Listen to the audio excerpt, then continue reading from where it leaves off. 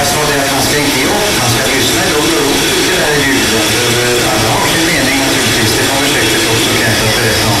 Ja, eh, det jag närmast kom att tänka på när jag såg och hörde detta, var att eh,